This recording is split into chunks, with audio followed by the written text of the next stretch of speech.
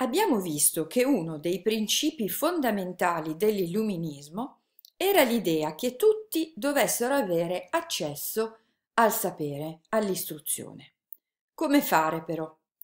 Un gruppo di filosofi e di pensatori progettò la realizzazione di una enciclopedia.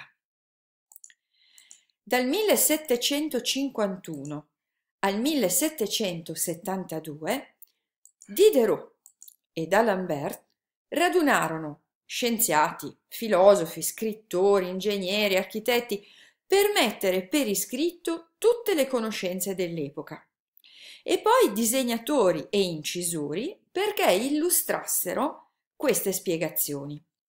Insomma, un po' come una Wikipedia del passato, realizzata però tutta con carta e penna. Ne vennero fuori ben 33 volumi, con tutte le informazioni ben organizzate in ordine alfabetico. 33 volumi a disposizione di tutti, era un modo pratico, concreto, per diffondere la conoscenza. Cosa si trova in questa enciclopedia? Si trova di tutto. Eh, non lo so, come erano tutte le calzature, i sandali, oppure come si faceva ad annodare il filo sul telaio, o delle tavole anatomiche per illustrare delle parti del corpo. Questi erano i disegni, ovviamente poi c'erano eh, tutte le parti spiegate.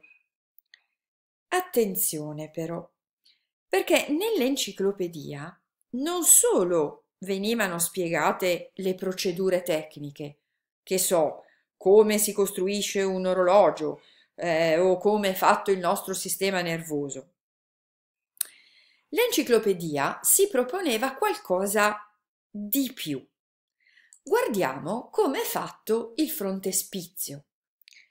In, questa, in questo disegno è raffigurata la verità, raffigurata come una sorta di divinità, eh, caratterizzata da questi raggi di luce.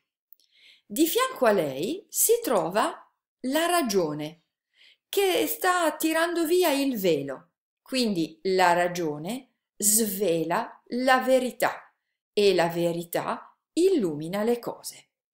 Quindi nell'enciclopedia non troviamo soltanto notizie tecniche e pratiche, ma troviamo anche delle riflessioni.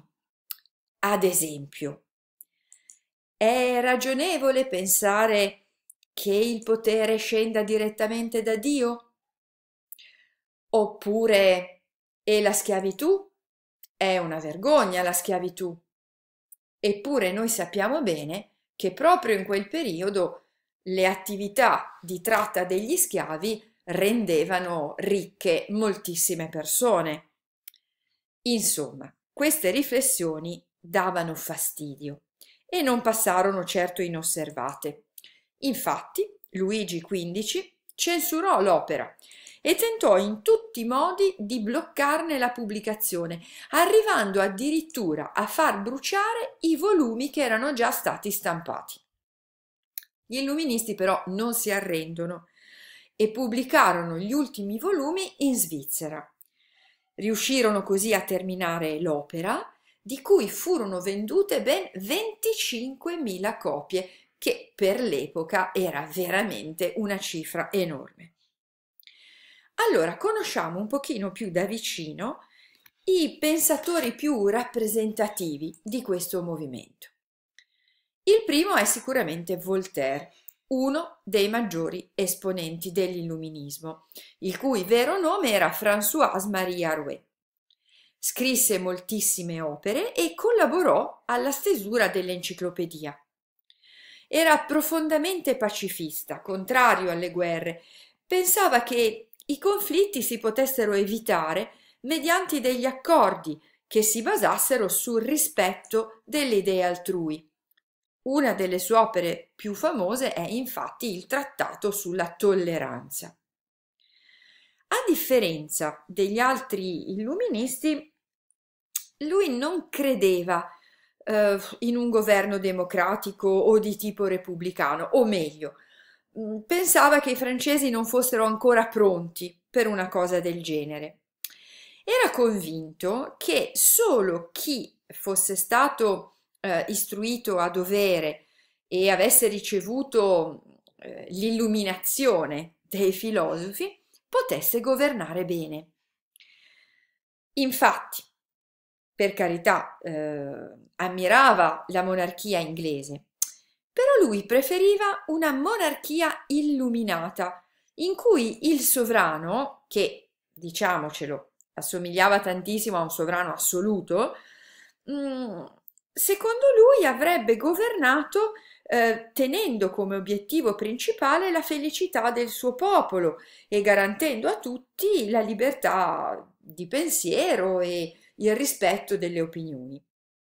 In questo dipinto è raffigurato alla corte del sovrano di Prussia, Federico II, eh, dove fu ospite per parecchi mesi. Lui girò molto le corti d'Europa proprio per illuminare i sovrani più importanti. Un altro rappresentante del pensiero illuminista è Montesquieu. Il libro più rappresentativo eh, del suo pensiero è Lo spirito delle leggi, nel quale eh, Montesquieu mh, mm, espone le sue riflessioni politiche. Cosa fa? Prende in esame i tre tipi possibili eh, di forme di governo, quindi la Repubblica, la monarchia, il dispotismo. E poi ne individua i principi. Allora, alla base della Repubblica abbiamo la virtù, perché la Repubblica è una forma di governo in cui i cittadini eh, mettono da parte gli interessi personali e virtuosamente appunto cercano di porre mh, davanti a tutto l'interesse di tutta la società. Alla base invece della monarchia abbiamo l'onore. La prima preoccupazione di un sovrano è appunto la gloria e l'onore e purtroppo spesso un sovrano cerca di ottenere questo onore facendo delle guerre. Invece alla base del dispotismo c'è la paura. Il despota è colui che governa in modo assoluto, togliendo e calpestando ogni diritto e quindi eh, per tenere buona la popolazione può ricorrere solo ed esclusivamente alla paura e al terrore. In fondo il dispotismo non è altro che la monarchia assoluta francese, dove c'è un uomo da solo al comando che decide mh, su tutto e su tutti. Non solo. Montesquieu studiò anche il Bill of Rights inglese e propose un principio fondamentale che ancora oggi è il fondamento di ogni Stato democratico, cioè la separazione dei poteri. Cosa significa? Significa che i tre poteri per governare uno Stato, cioè il potere legislativo, il potere esecutivo e il potere giudiziario, devono essere rigorosamente separati e devono essere gestiti da persone e da istituzioni diverse. In questo modo i tre poteri si controlleranno e sarà impossibile commettere delle ingiustizie. Un altro rappresentante è Rousseau, un illuminista un pochino diverso dagli altri.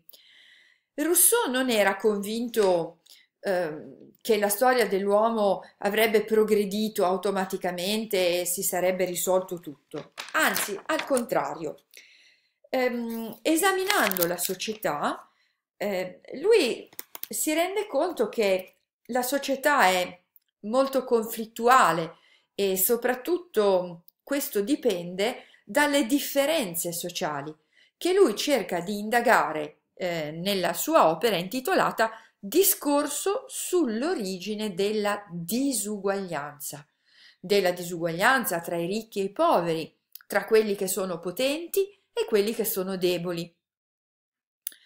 Rousseau afferma che in questo tipo di società è impossibile realizzare la felicità. L'uomo, secondo lui, fu veramente felice solo all'inizio dei tempi, praticamente nell'era preistorica, perché viveva in armonia con la natura, si accontentava di quello che aveva e si impossessava soltanto di quello che gli serviva. Questo che lui chiama stato di natura viene meno quando l'uomo inventa l'agricoltura, la metallurgia, la divisione del lavoro. È da qui che nascono le differenze sociali e quindi i conflitti. Tornare allo stato di natura però è impossibile. Allora Rousseau propone un contratto sociale, cioè un accordo. Gli uomini dovrebbero mettersi d'accordo per rinunciare agli interessi esclusivamente personali e pensare agli interessi di tutti.